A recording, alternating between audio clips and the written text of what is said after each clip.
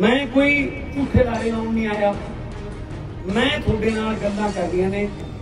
ਔਰ ਗੱਲਾਂ ਵੀ ਬਗਾਨੀਆਂ ਨਹੀਂ ਹੈਗੀਆਂ। ਗੱਲਾਂ ਵੀ ਉਹੀ ਨੇ ਜਿਹੜੀਆਂ ਤੁਸੀਂ ਗੁੰਡਾਂ ਤੇ ਬਹਿ ਕੇ ਉੱਪਰ ਥੱਲੇ ਬਹਿ ਕੇ ਸੱਤ 'ਚ ਬਹਿ ਕੇ ਖੇਤ ਦੀ ਵੱਟ ਤੇ ਬਹਿ ਕੇ ਕਰਦੇ ਸੁਜੀਤ ਪਾਤਰ ਜੀ ਨੇ ਲਿਖਿਆ ਹੈ, ਬੱਚੀ ਜੇ ਬੱਚੀ ਜੇ ਤੇਰੇ ਕਲੇਜੇ ਅਜੇ ਛੁਰੀ ਨਹੀਂ ਹੈ ਇਹ ਨਾ ਸਮਝੀ ਕਿ ਸ਼ਹਿਰ ਦੀ ਹਾਲਤ ਬੁਰੀ ਨਹੀਂ ਹੈ। ਭੈਣਾਂ, ਦੁਆਵਾਂ ਕਰਦੀਆਂ ਨੇ, ਮੁੰਡੇ ਸੈਲਫੀਆਂ ਕਰਾਉਂਦੇ ਨੇ, ਫੋਟੋਆਂ ਕਰਾਉਂਦੇ ਨੇ, ਇੱਕ ਬਸ ਆ ਪਿਆਰ ਹੈ, ਦੂਜੇ ਪਾਸੇ ਕਾਲੀ ਤੇ ਕਾਂਗਰਸੀ ਨੇ। ਇਹਨਾਂ ਨਾਲ ਇੱਕ ਵਾਰੀ ਹੱਥ ਮਿਲਾ ਕੇ ਬਾਅਦ ਉਂਗਲੀਆਂ ਗੰਢੀਆਂ ਪੈਂਦੀਆਂ ਨੇ, ਪੂਰੀਆਂ ਨੇ ਜੇ ਲੈ ਕੇ ਕੱਲੀ ਹੋਏ। ਆ ਹਾਲਤ ਹੈ। ਮੈਂ ਬਹੁਤ ਸੌਖੇ ਤਰੀਕੇ ਨਾਲ ਸਮਝਾ ਰਿਹਾ ਤੁਹਾਨੂੰ ਇਹ। ਫਿਰ ਜਦੋਂ ਖੇਕੜੀ ਦੋ ਰੰਗ ਦੀ ਰੋਟੀ ਦਾ ਰਹਿ ਗਿਆ, ਵੀ ਮਿਲੂ ਜਾਂ ਨਾ ਮਿਲੂ। ਫਿਰ ਰਾਮਾ ਫਰੂਟਾਂ ਵਾਲਾ ਵੀ ਗਿਆ, ਉਹ ਚੀਕੂ ਕੌਣ ਖਰੀਦੂਗਾ ਫਿਰ? ਉਹ ਵੀ ਬੰਦ ਹੁਣ ਕੀ ਸੁਖਬੀਰ ਬਾਦਲ ਦਾ ਦੱਸ? ਮੰਦ ਬੁੱਧੀ ਜਵਾਬ ਕਰ ਹੁਣ ਇਹ ਜਿਹੇ ਨੂੰ ਪਿੰਡਾਂ ਸੰਗਲ ਲੱਗ ਗਿਆ ਯਾਰ। ਲੋਕ ਲਾਂਬਾ ਦੇ ਕੇ ਜਾਂਦੇ ਸਿੰਘ ਸੰਦਰਾ ਮੁੰਡਾ ਕਿਤੇ ਕਰੋੜਾ ਕਰੋੜਾ ਮਾਰ ਕੇ ਕਿਤੇ ਬੁੱਢੀ ਨਾਲ ਲੈ ਉਹ ਫਿਰ ਦੇਖਦੇ ਅਸੀਂ ਪੰਜਾਬ ਦੇ ਵਸੀਲੇ ਹਾਂ। ਦੱਸ। ਕੱਖ ਪਤਾ ਨਹੀਂ ਪੰਜਾਬੀ ਬੋਲਣੀ ਨਹੀਂ ਆਉਂਦੀ। ਤਿੰਨ ਵਾਰੀ ਤਾਂ ਮੈਂ ਸਾਡੇ ਪਿਓ ਨੂੰ ਕਹਿ ਕੇ ਮੇਰੇ ਪਿਤਾ ਸਮਾਨ ਹੈ। ਇਹ। ਨੂੰ ਠਾਰਾ ਕੰਮ ਕੇ ਕਹਿਣਾ ਪੈਂਦਾ, ਓਏ, ਸਮਾਨ ਨਹੀਂ, ਪਿਤਾ ਹੀ ਪਤਾ ਹੀ ਨਹੀਂ ਉਹਨੂੰ ਪੰਜਾਬੀ ਆਉਂਦੀ ਪਿੰਡ ਦੀ ਸਾਰੀ ਸਾਧ ਸੰਗਤ, ਸਤਿਕਾਰਯੋਗ ਬਜ਼ੁਰਗ, ਨੌਜਵਾਨ ਵੀ ਮਾਵਾਂ, ਭੈਣਾਂ, ਛੋਟੇ ਬੱਚੇ, ਸਭ ਤੋਂ ਪਹਿਲਾਂ ਥੋੜਾ ਚੱਲਿਆ ਹੋਇਆ ਇੱਕ ਇੱਕ ਕਦਮ ਸਾਡੇ ਸਿਰ ਮੱਥੇ। ਫਤਿਹ ਦੀ ਸਾਂਝ ਕਬੂਲ ਕਰੇ, ਵਾਹਿਗੁਰੂ ਜੀ ਕਾ ਖਾਲਸਾ, ਵਾਹਿਗੁਰੂ ਜੀ ਕੀ ਫਤਿਹ। ਸਾਡੀ ਸਾਰੀ ਜ਼ਿਲ੍ਹਾ ਮਾਨਸਾ ਦੀ ਟੀਮ ਗੁਰਪ੍ਰੀਤ ਬਣਾ ਸਾਡੇ ਪ੍ਰਧਾਨ ਅੱਕਾ ਜੀ, ਮਾਨਸਾ ਤੋਂ ਕੋਚਰ ਸਾਹਿਬ, ਮੈਡਮ ਪ੍ਰਵਿੰਦਰ ਜੀ ਨਿਰਜਨ ਚੌਧਰੀ, ਸਾਡੇ ਭੋਲਾ ਸਿੰਘ ਮਾਨ, ਸਾਰੀ ਸਾਡੀ ਜਿਹੜੀ ਇੱਥੋਂ ਦੀ ਟੀਮ ਹੈ, ਸਾਡੀ ਮਾਨਸਾ ਦੀ ਵਲੰਟੀਅਰ ਸਾਰੇ, ਜਿਨ੍ਹਾਂ ਨੇ ਬਹੁਤ ਛੋਟੇ ਟਾਈਮ 'ਚ ਪਰਸੋਂ ਇਹੋ ਜਿਹੇ ਵੇਲੇ ਅਜੇ ਗੱਲ ਚੱਲਦੀ ਸੀ ਵੀ ਕਿਹੜੇ ਕਿਹੜੇ ਪਿੰਡ ਜਾਣਾ ਤੇ 24 ਘੰਟਿਆਂ ਦੇ ਵਿੱਚ ਵਿੱਚ ਤੁਸੀਂ ਇੰਨੀ ਭਾਰੀ ਗਿਣਤੀ 'ਚ ਇੱਥੇ ਪਹੁੰਚੇ ਹੋ। ਇਹੀ ਪਿਆਰ ਹੈ ਜਿਹੜਾ ਸਾਨੂੰ ਥੱਕਣ ਨਹੀਂ ਦਿੰਦਾ ਬਸ। ਇਹੀ ਚੀਜ਼ ਹੈ। ਮੈਂ ਮੀਡੀਆ ਵਾਲਿਆਂ ਨਾਲ ਵੀ ਗੱਲ ਕਰ ਰਿਹਾ ਸੀ, ਇਹੀ ਗੱਲ ਕਰ ਰਿਹਾ ਸੀ ਮੈਂ ਕਿ ਅੱਜ ਦੇ ਦੌਰ 'ਚ ਇਸ ਵਕਤ ਜਦੋਂ ਬੀਜੇਪੀ ਵਾਲਿਆਂ ਨੂੰ, ਅਕਾਲੀਆਂ ਨੂੰ, ਕਾਂਗਰਸੀਆਂ ਨੂੰ ਲੋਕ ਵੜਨ ਨਹੀਂ ਦਿੰਦੇ ਪਿੰਡਾਂ 'ਚ, ਸ਼ਹਿਰਾਂ 'ਚ ਨਹੀਂ ਵੜਨ ਦਿੰਦੇ। ਉਸ ਦੌਰ ਦੇ ਵਿੱਚ ਤੁਹਾਡਾ ਇੰਨੀ ਭਾਰੀ ਗਿਣਤੀ 'ਚ ਇੰਨੀ ਧੁੱਪ ਦੇ ਬਾਵਜੂਦ ਇੱਥੇ ਆਉਣਾ ਮੇਰੇ ਲਈ ਬਹੁਤ ਮਾਣ ਸਤਿਕਾਰ ਵਾਲੀ ਗੱਲ ਹੈ। ਮੈਂ ਤੁਹਾਡਾ ਕਰਜ਼ਦਾਰ ਹਾਂ। ਮੈਂ ਤੁਹਾਡਾ ਰਿਣੀ ਹਾਂ ਕਿ ਤੁਸੀਂ ਇਸ ਨਿਮਾਣੇ ਦੇ ਤੁਹਾਡੇ ਆਪਣੇ ਜਵਾਕ ਨੂੰ ਤੁਸੀਂ ਇਹਨਾਂ ਮਾਣ ਬਖਸ਼ੇ ਮੈਂ ਕੋਈ ਕੋਈ ਤਕਰੀਰਾਂ ਕਰਨ ਜਾਂ ਭਾਸ਼ਣ ਦੇਣ ਨਹੀਂ ਆਇਆ। ਮੈਂ ਕੋਈ ਵੋਟਾਂ ਨੇੜੇ ਤੇੜੇ ਨਹੀਂ ਹੈਗੀਆਂ। ਪਹਿਲਾਂ ਸਵਾਲ ਪਿਆ ਉਦੋਂ, ਪਤਾ ਨਹੀਂ ਕਿਹੜੇ ਰਾਜ ਦੀ ਪਰਜਾ ਹੋਊਗੀ, ਦੇਖਾਂਗੇ। ਮੈਂ ਕੋਈ ਝੂਠੇ ਲਾਰੇ ਲਾਉਣ ਨਹੀਂ ਆਇਆ। ਮੈਂ ਤੁਹਾਡੇ ਨਾਲ ਗੱਲਾਂ ਕਰਨੀਆਂ ਨੇ। ਔਰ ਗੱਲਾਂ ਵੀ ਬਗਾਨੀਆਂ ਨਹੀਂ ਹੈਗੀਆਂ। ਗੱਲਾਂ ਵੀ ਉਹੀ ਨੇ ਜਿਹੜੀਆਂ ਤੁਸੀਂ ਗੁੰਡਾਂ ਤੇ ਬਹਿ ਕੇ ਪਿੱਪਲ ਥੱਲੇ ਬਹਿ ਕੇ ਸੱਤ 'ਚ ਬਹਿ ਕੇ, ਖੇਤ ਦੀ ਵੱਟ ਤੇ ਬਹਿ ਕੇ ਕਰਦੇ। ਹੋ। ਕੀ ਗੱਲਾਂ ਨੇ? ਕਿ ਆਪਣੇ ਚੁੱਲ੍ਹਿਆਂ ਦੀ ਅੱਗ ਖਤਰੇ 'ਚ ਹੈ ਆਪਣੇ ਚੁੱਲ੍ਹਿਆਂ ਦੀ ਅੱਗ ਖਤਰੇ 'ਚ ਹੈ। ਆਪਣੇ ਟਰੈਕਟਰ ਤਵੀਆਂ ਹਲ ਸੁਹਾਗੇ ਖਤਰੇ 'ਚ ਨੇ।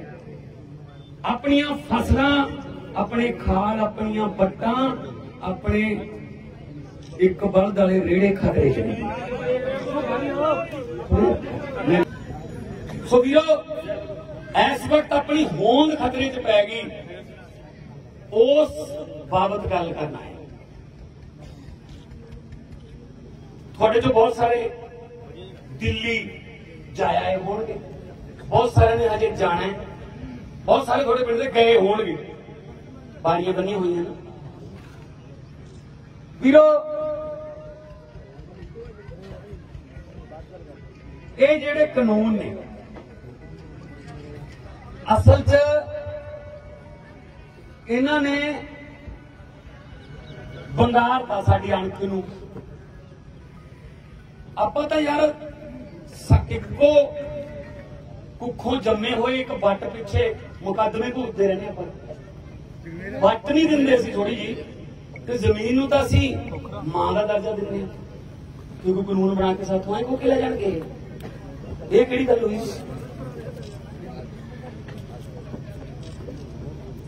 ਵੀਰੋ,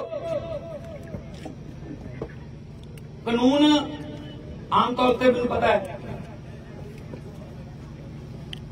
ਨਹੀਂ ਉਹਨਾਂ ਪਤਾ ਹੋਊਗਾ ਬਹੁਤੇ ਸਾਰੇ ਲੋਕਾਂ ਨੂੰ ਕਿ ਕੀ ਕੀ ਹੈ ਚ। ਇੰਨਾ ਹੀ ਪਤਾ ਵੀ ਜ਼ਮੀਨਾਂ ਖੋਣ ਵਾਲਾ ਹੈ। ਕੱਲੀਆਂ ਜ਼ਮੀਨਾਂ ਖੋਣ ਵਾਲਾ ਨਹੀਂ ਹੈਗਾ ਇਹ। ਇਹਨੂੰ ਇਹ ਨਾ, ਮੈਂ ਬਹੁਤ ਪਹਿਲੇ ਦਿਨ ਤੋਂ ਕਹੀ ਜਾਂਦਾ ਮੈਂ ਇਹ ਗੱਲ। ਮੈਂ ਪਾਰਲੀਮੈਂਟ 'ਚ ਵੀ ਇਹ ਗੱਲ ਕਹੀ ਸੀ ਵੀ ਕਿਸਾਨਾਂ ਦਾ ਅੰਦੋਲਨ ਆ ਜਾਇਆ ਕਰੋ ਇਹ ਸਾਰਿਆਂ ਦਾ ਆਪਣਾ। ਇਹ 'ਚ ਬਹੁਤ ਕੁਝ ਜਾਊਗਾ। ਜਿਨ੍ਹਾਂ ਦੀ ਜ਼ਮੀਨ ਹੈ ਨਹੀਂ ਨਾ, ਇਹ ਨਾ ਸਮਝਣ ਉਹ ਵੀ ਆਪਣਾ ਕੀ ਜਾਂਦਾ ਇਹਨਾਂ ਦਾ ਨਾ ਨਾ ਨਾ। ਸੁਜੀਤ ਪਾਤਰ ਜੀ ਨੇ ਲਿਖਿਆ ਬੱਜੀ ਜਿਹੜੇ ਬੱਜੀ ਜੇ ਤੇਰੇ ਕਲੇਜੇ ਅਜੇ ਛੁਰੀ ਨਹੀਂ ਹੈ ਇਹ ਨਾ ਸਮਝੀ ਕਿ ਸ਼ਹਿਰ ਦੀ ਹਾਲਤ ਬੁਰੀ ਨਹੀਂ ਹੈ। ਤੁਸੀਂ ਝਰੀਰ ਤੋਂ ਚਿਕਨ ਲੈਣ ਜਾਂਦੇ ਹੋ। ਉਹ ਮੀਟ ਵਾਲਾ ਉਹ ਖੁੱਡੇ 40 50 ਕੁੱਕੜ ਜਿਹੇ ਹੁੰਦੇ ਨੇ ਉਹਦੇ ਕੋਲੇ। ਤੁਸੀਂ ਕਹਿੰਦੇ ਇੱਕ ਵੱਢ ਦੇ। ਉਹ ਜਿਹਨੂੰ ਵੱਢਣ ਵਾਸਤੇ ਉਹਦੇ ਲੱਤਾਂ ਫੜਦਾ ਹੈ, ਖੰਭ ਜੇ ਤਾਂ ਉਹੀ ਮਾਰਦਾ, ਬਾਕੀ ਤਾਂ ਦਾਣਾ ਚੁਗੀ ਜਾਂਦੇ ਨੇ ਵੀ ਸਾਡਾ ਕੀ ਜਾਂਦਾ, ਇਹ ਚ ਇਸੇ ਦੀ ਵਾਰੀ ਦੀ ਵਾਰੀ ਹੈ। ਉਹਨਾਂ ਨੂੰ ਇਹ ਨਹੀਂ ਪਤਾ ਘੰਟੇ ਬਾਅਦ ਤੇਰੀ ਵੀ ਆਉਣ ਵਾਲੀ ਹੈ। ਸੋ ਇਹ ਨਾ ਸਮਝਿਓ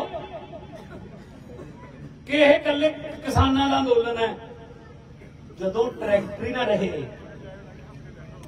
ਤਾਂ ਫਿਰ ਸਵੇਰ ਪਾੜੇ ਦੀਆਂ ਦੁਕਾਨਾਂ ਬੰਦ,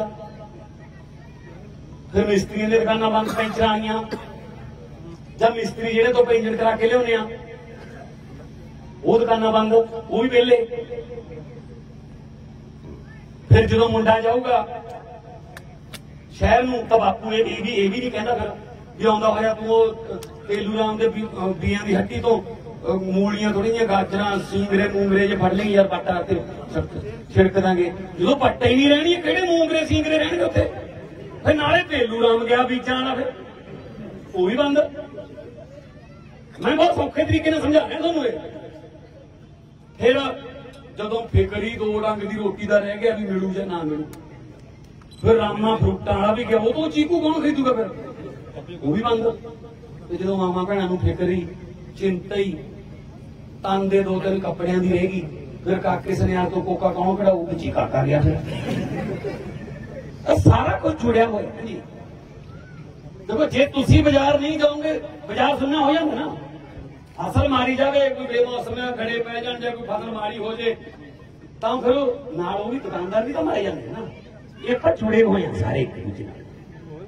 ਆਰਤੀ ਕਿੰਨੇ, ਉਹ ਵੇਲੇ ਹੋਣਗੇ, ਉਹਨਾਂ ਦੇ ਮੁਨੀਮ ਲੱਖਾਂ, ਟਰਾਂਸਪੋਰਟਰ, ਪੱਲੇਦਾਰ, ਜਿਹੜੇ ਮੰਡੀਆਂ 'ਚ ਰੇੜੀਆਂ ਲਾਉਂਦੇ ਆ, ਚਾਹ ਦੀਆਂ, ਹੋਰ ਖਾਣ ਪੀਣ ਦੀਆਂ, ਉਹ ਉਹ ਸਾਰਾ ਸਾਰਾ ਕੁਝ ਜੁੜਿਆ ਹੋਇਆ ਹੈ।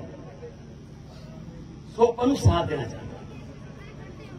ਮੈਨੂੰ ਪੱਤਰਕਾਰ ਕਹਿੰਦੇ ਤੁਸੀਂ ਬਹੁਤ ਜ਼ਿਆਦਾ ਸਪੋਰਟ ਕਰ ਰਹੇ ਹੋ। ਮੈਂ ਕਿਹਾ, ਕਿਉਂ ਨਾ ਕਰੀਏ ਯਾਰ?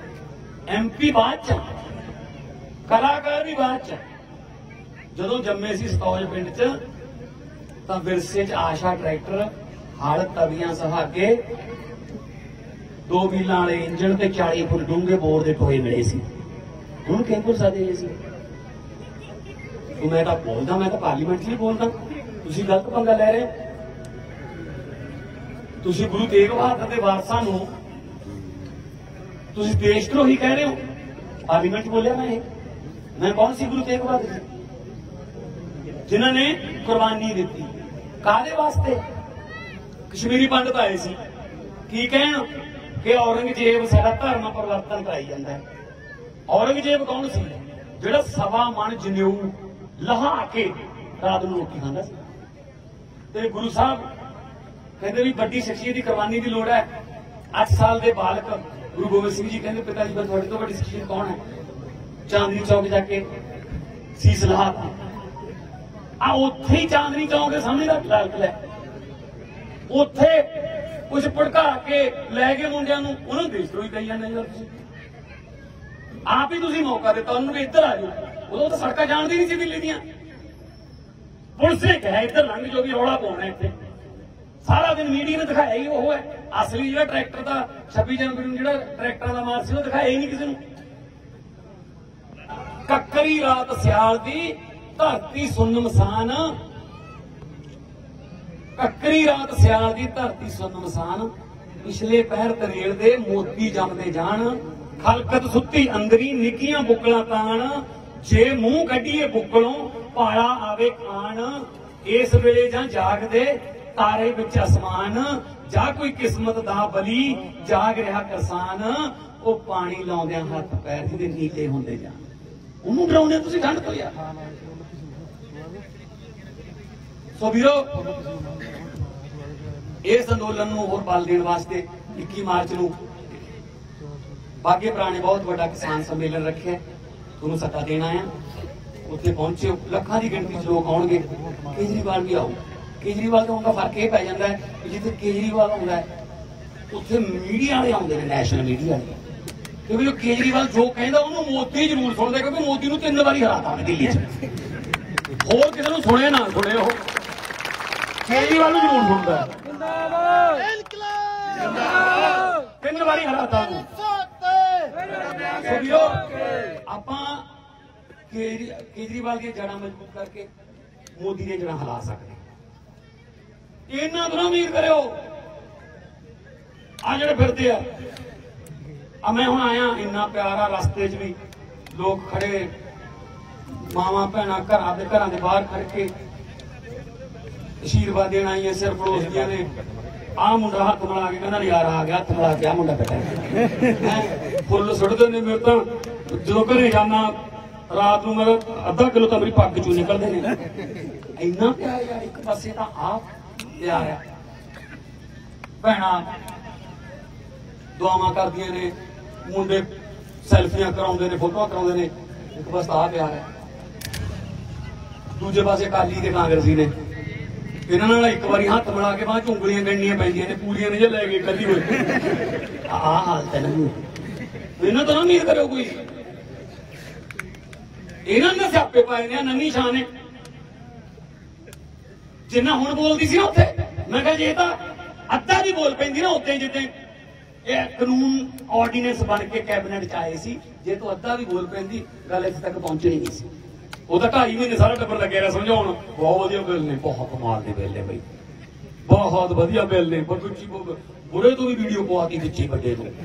ਬਹੁਤ ਵਧੀਆ ਬਿੱਲ ਨੇ ਕਹਿੰਦਾ ਗੱਲ ਹੋ ਗਈ। ਸਾਡੀ ਕਹਿੰਦਾ ਬਹੁਤ ਵਧੀਆ ਬਿੱਲ ਨੇ ਜਦੋਂ ਲੋਕਾਂ ਦਾ ਪਿਆ ਪ੍ਰੈਸ਼ਰ ਜਾਂ ਪਾਰਲੀਮੈਂਟ 'ਚ 15 ਤਰੀਕ ਨੂੰ ਕਹਿੰਦਾ ਸਾਨੂੰ ਤਾਂ ਪੜਾਏ ਨਹੀਂ ਤਾਂ ਬਹੁਤ ਮਾੜੇ ਬਿੱਲ ਨੇ। ਲੈ ਇੰਨੇ ਕਮਲੇ ਨੇ ਲੋਕ ਯਾਰ ਵੀ ਕਦੇ ਮਰਜ਼ਾ ਚਿੜੀਏ ਕਦੇ ਜਿਉਂਦਾ ਚਿੜੀਏ। ਉਹ ਸੁਖਬੀਰ ਬਾਦਲ। ਪਾਰਲੀਮੈਂਟ 'ਚ ਕਹਿੰਦਾ ਕਹਿੰਦਾ ਮੈਂ ਵੀ ਕਿਸਾਨ ਆ ਮੈਂ ਕਿਹਾ, ਤੂੰ ਕਿਧਰੋਂ ਕਿਸਾਨ ਹੈ ਯਾਰ? ਮੈਂ ਕਹਿੰਦਾ ਕਿਸਾਨ ਆ ਮੈਂ। ਮੈਂ ਕਿਹਾ, ਤੂੰ ਕਿੱਥੇ ਖੇਤ ਗਏ ਯਾਰ? ਹੈ ਕਿਸਾਨ ਆ?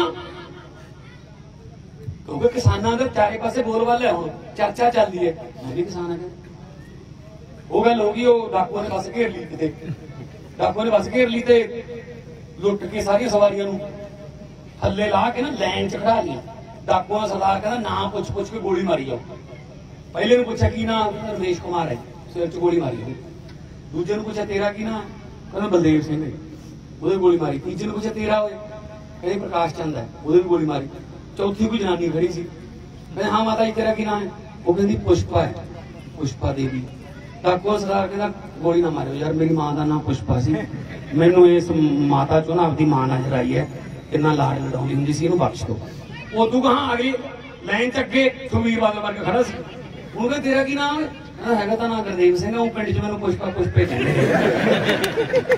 ਸਰਦਾਰ ਕਹਿੰਦਾ, ਪੰਜ ਗੋਲੀਆਂ ਵੱਧ ਮਾਰੋ, ਮੇਰੀ ਮਾਂ ਦਾ ਨਾਮ ਬਦਨਾਮ ਕਰ ਦਿੰਦੇ ਉਹ ਹਾਲਤ ਹੈ ਇਹਨਾਂ ਉਹ ਤਾਂ ਸਾਡੇ ਟਰਾਂਸਪੋਰਟਾਂ ਨੇ, ਬੱਸਾਂ ਨੇ, ਹੋਟਲ ਨੇ ਉਹ ਅੱਜ ਕੱਲ ਸਾਨੂੰ ਕਿਸਾਨ ਕਿਸਾਨ ਹੀ ਕਹਿੰਦੇ ਹੀ ਕਿਸਾਨ ਆ ਗਏ ਵੱਡੇ। ਉਹ ਬਾਦਲ ਕੇ ਹਟਦੇ ਹੀ ਨਹੀਂ ਯਾਰ ਹੁਣ ਕੀ ਸੁਖਬੀਰ ਬਾਦਲ ਦਾ ਦੱਸ ਮੰਦ ਬੁੱਧੀ ਜਵਾਬ ਕਰਦਾ ਹੁਣ ਇਹ ਜਿਹੇ ਨੂੰ ਪਿੰਡਾਂ ਸੰਗਲ ਲੱਗ ਗਿਆ ਯਾਰ। ਲੋਕ ਇਹ ਲਾਂਬਾ ਦੇ ਕੇ ਜਾਂਦਾ ਗੁਰਦੇਵ ਸਿੰਘ ਦਾ ਮੁੰਡਾ ਕਿਤੇ ਕਰੋੜਾ ਰੋੜਾ ਮਾਰੇ ਕਿਤੇ ਬੁਰਜੀ ਨਾਲ ਲੈ ਗਿਆ ਉਹ ਫਿਰ ਦੇਖਦੇ ਅਸੀਂ ਪੰਜਾਬ ਦੇ ਵਸੀਲੇ ਹਾਂ ਦੱਸੋ। ਕੱਖ ਪਤਾ ਨਹੀਂ, ਪੰਜਾਬੀ ਬੋਲਣੀ ਨਹੀਂ ਆਉਂਦੀ। ਤਿੰਨ ਵਾਰੀ ਤਾਂ ਉਹਨੇ ਸਾਡੇ ਪਿਓ ਨੂੰ ਕਹਿ ਕੇ ਮੇਰੇ ਪਿਤਾ ਸਮਾਨ ਹੈ ਇਹ। ਬਾਦਲ ਨੂੰ ਠਿਕਾਣਾ ਕੰਮ ਕੇ ਕਹਿਣਾ ਪੈਂਦਾ, ਓਏ, ਸਮਾਨ ਨਹੀਂ, ਪਿਤਾ ਹੀ ਆ। ਪਤਾ ਹੀ ਨਹੀਂ ਉਹਨੂੰ ਪੰਜਾਬੀ ਆਉਂਦੀ। ਲੈ ਉਹਦੀ ਇੰਨੀ ਲੀਡਰ ਦੀ ਕੀ ਹੁੰਦੀ ਹੈ ਬਈ? ਲੀਡਰ ਦੀ ਗੱਲਾਂ ਕੀ ਚੱਲਦੀਆਂ ਹੁੰਦੀਆਂ? ਨੇ ਸੱਥਾਂ 'ਚ। ਵੀ ਆਹ ਫਲਾਣਾ ਲੀਡਰ ਹੈ ਯਾਰ, ਉਹਨੇ ਆਹ ਕਾਨੂੰਨ ਬਣਾਇਆ ਸੀ। ਆਹ ਫਲਾਣਾ ਲੀਡਰ ਹੈ, ਪਾਰਲੀਮੈਂਟ 'ਚ ਬਹੁਤ ਬੋਲਦਾ ਸੀ। ਆਹ ਫਲਾਣਾ ਲੀਡਰ ਹੈ, ਇਹਨੇ ਆਹ ਉਦੋਂ ਫਿਰ ਮੋਰਚਾ ਲਾਇਆ ਤਾਂ ਜ਼ਮੀਨਾਂ ਬਚ ਗਈਆਂ ਬਾਈ ਫਲਾਨੀ ਆਹੀ ਗੱਲਾਂ ਕਰਦੇ ਸੁਖਬੀਰ ਬਾਦਲ ਬਾਰੇ ਕੀ ਹੈ? ਜੋ ਮਰਜ਼ੀ ਕਹਿ ਦੋ, ਝੂਠ ਬੋਲ ਦੋ। ਲੋਕ ਮੰਨ ਲੈਂਦੇ ਨੇ, ਕਹਿੰਦੇ ਹੋ ਹੋ ਕਰ ਲਿਆ ਉਹ ਆ ਇੱਜ਼ਤ ਆ। ਤੁਸੀਂ ਝੂਠ ਬੋਲ ਦੋ ਸਾਥੇ ਇੱਥੇ। ਵੀ ਆਇਆ ਪਟਿਆਲੇ ਨਾ ਫੁਹਾਰਾ ਚੌਂਕ। ਪੱਪੂ ਸਮੋਸੇ ਵਾਲੇ ਦੀ ਰੇੜੀ ਹੈ। ਇੱਕ ਦਿਨ ਚ 3000 ਰੁਪਏ ਦੇ ਸਮੋਸੇ ਵੇਚਦਾ।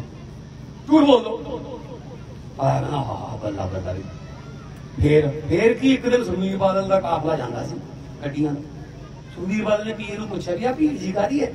ਉਹਦਾ ਪੀਏ ਕਹਿੰਦਾ, ਜਨਾਬ, ਕਮਾਲ ਕਰਦੇ ਹੋ ਪੱਪੂ ਦੀ ਰੇੜੀ ਤੇ ਭੀੜ ਨਹੀਂ ਹੋਊਗੀ, ਹੋਰ ਹੋਊਗੀ ਕਿਹਦੇ? ਪੱਪੂ ਦੀ ਰੇੜੀ ਹੈ ਕਹਿੰਦਾ ਦੇ ਸਮੋਸੇ ਇੱਕ ਦਿਨ ਚ ਵੇਚਦਾ ਅੱਛਾ ਫੇਰ ਬਈ ਸ਼ੇਰਾ। ਫੇਰ ਕੀ? ਪਾ ਲਿਆ ਹਿੱਸਾ ਫਿਰ ਰੇੜੀ ਚ। ਹੁਣ 1500 ਪੱਪੂ ਦਾ ਹੈ, 1500 ਬਾਦਲ ਕਿਹੜੇ ਪੱਪੂ ਦਾ ਲੈ ਮੂਰੋਂ ਤਾਇਆ ਇਹ ਨਹੀਂ ਕਹਿੰਦਾ ਵੀ ਯਾਰ ਕਿਉਂ ਝੂਠ ਬੋਲੀ ਜਾਂਦੇ ਯਾਰ ਗੱਪ ਮਾਰੀਆਂ ਨੇ ਐਡੇ ਐਡੇ ਟਰਾਂਸਪੋਰਟਾਂ ਦੇ ਮਾਲਕ ਨੇ ਜ਼ਮੀਨਾਂ ਦੇ ਮਾਲਕ ਨੇ ਹੁਣ ਸਮੋਸਿਆਂ ਦੀ ਰੇੜੀ ਤੇ ਹਿੱਸਾ ਪਾਉਣਗੇ ਤਾਇਆ ਮੂਰੋਂ ਦੋ ਰੇੜੀਆਂ ਦੇ ਐਡਰੈਸ ਦੇ ਦਿੰਦਾ ਹੈ। ਪਾ ਲਿਆ, ਉਹ ਪਾ ਲਿਆ, ਉਹ ਇਹਨਾਂ ਨੇ ਝਨੀਰ ਵੀ ਇੱਕ ਮੂੰਗਫੜੀ ਵਾਲੀ ਰੇੜੀ ਦੱਬੀ ਹੈ ਲੈ ਲੈ ਲੋ ਕੀ ਇੱਜ਼ਤ ਆ ਯਾਰ ਇਹ ਹੈ